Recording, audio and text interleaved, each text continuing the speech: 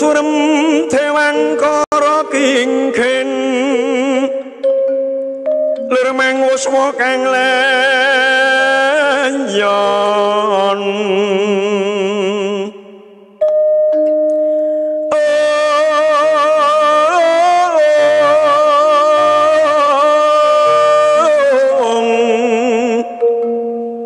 Thiên nhỏ hi lành memanisi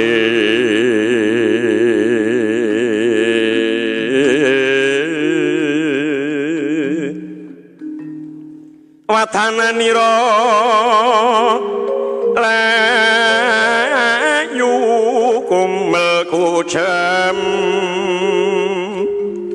Rahnyo maratani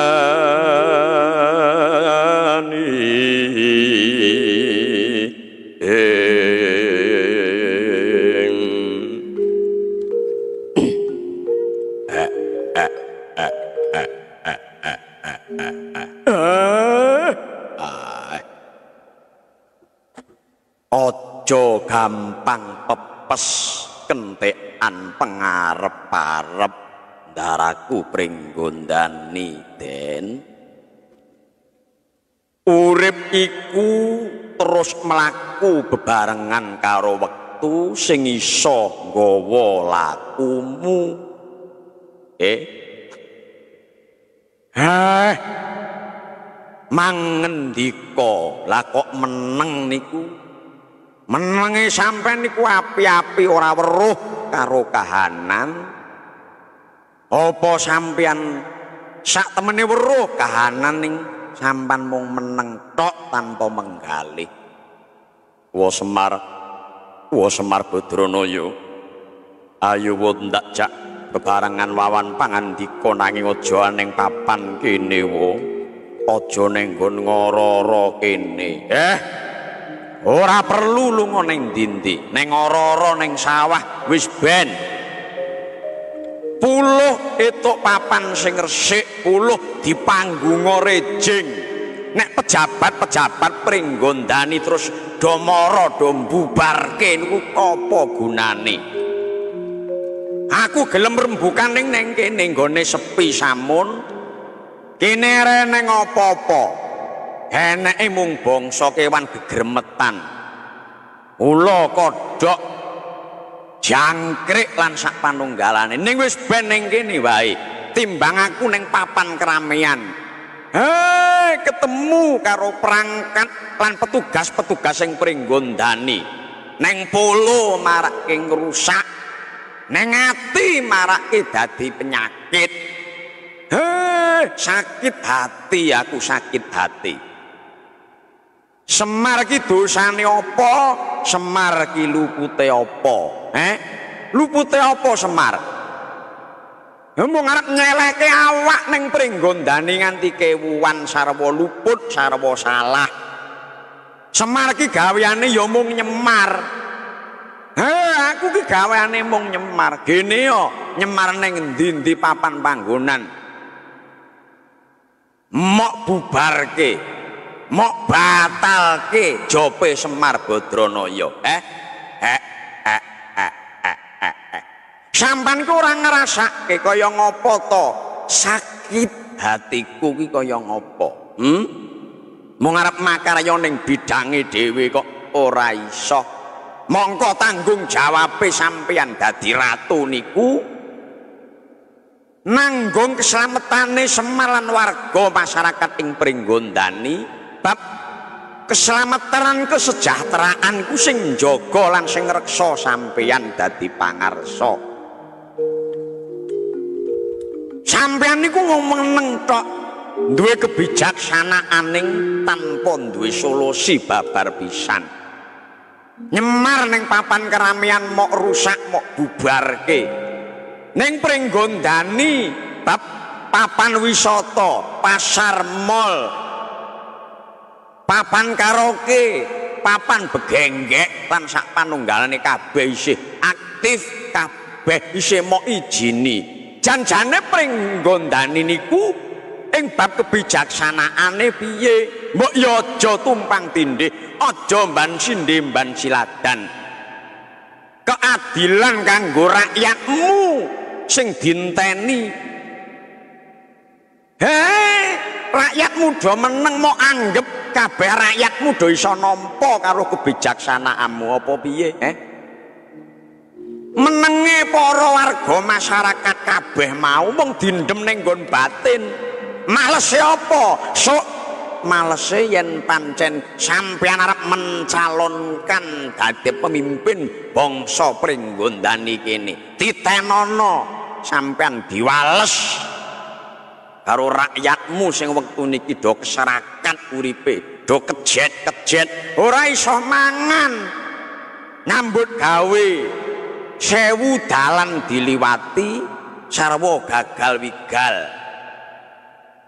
Enek apa didol ora eneng sing tuku?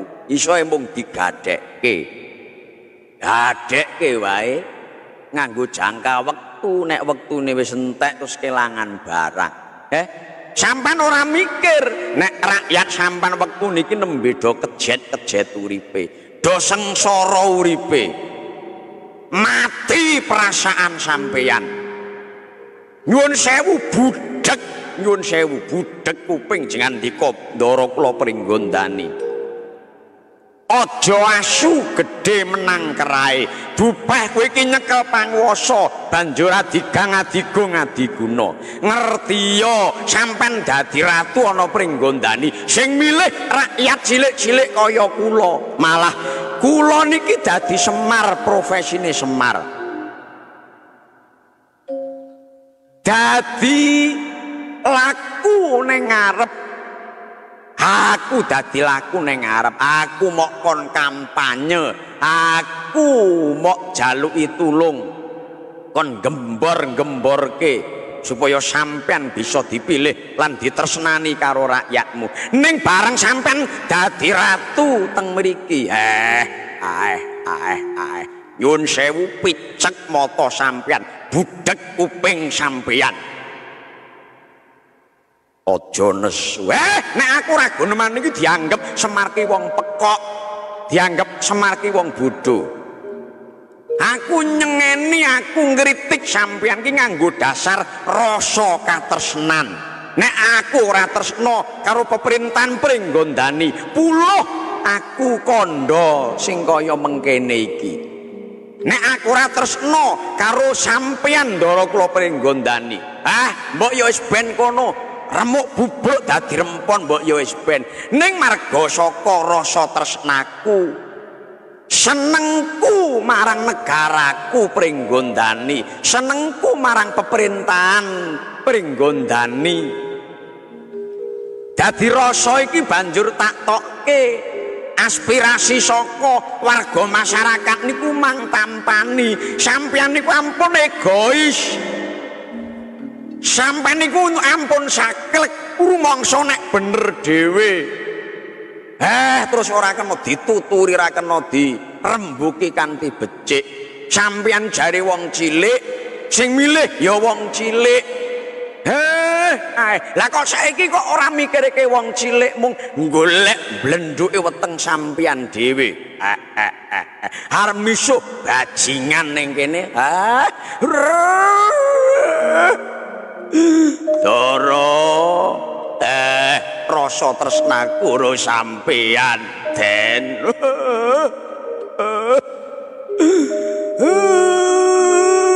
Mangeling nggih Gus. Aja aji mumpung.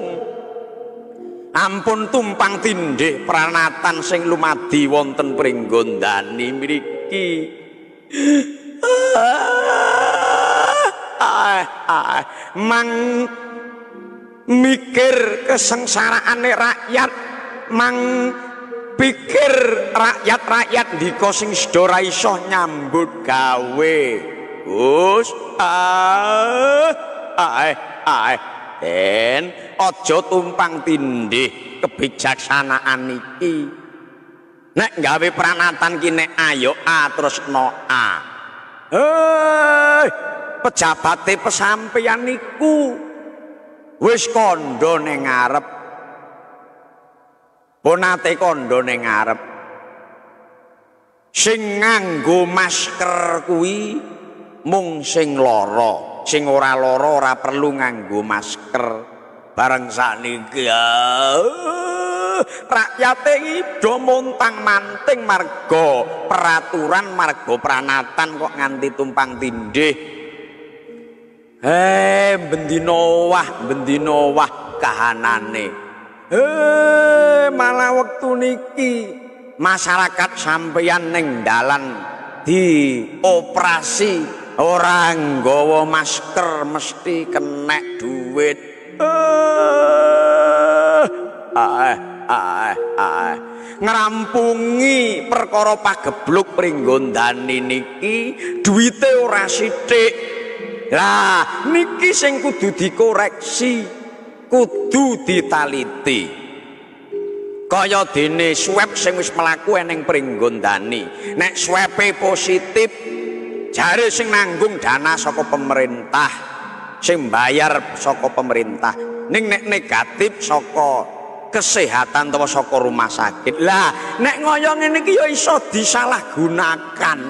Heh, piye sampean niku awit ngarep kok ora dipenggalih sik.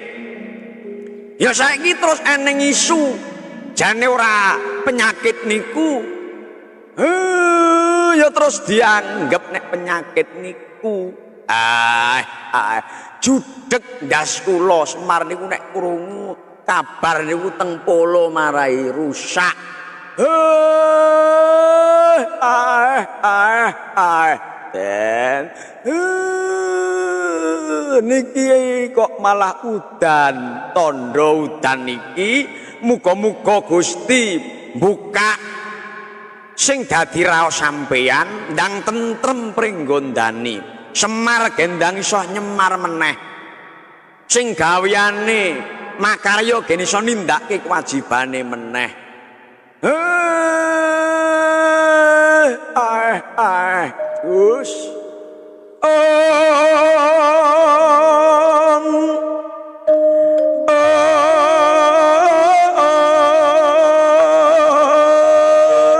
Om. Pemirsa, nyun pangapunten Jawa. Jadi alhamdulillah nggih namung niki pangunek-unekipun Semar Badranaya sing kepengin nyun sewu peranatan ampun nganti tumpang setindih. Karepe tresnane Semar dateng Pringgondani iki ya gendang ludang jagate gendang padang jagate. Eh nganti gawe bingung kahanane. Arep nyelehke awak rekoso mula disesuwun muga-muga sing do ngati-ati sing do kewajiban-kewajiban tak jaluk aja saklek aja ego rungokno suarate rakyatmu sing wis padha jengek sing sedha rekoso kahanane. Eh matur nuwun matur nuwun. Namung kangge tombo rasa gelo.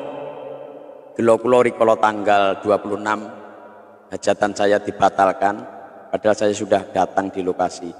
Nggih tombo gelo.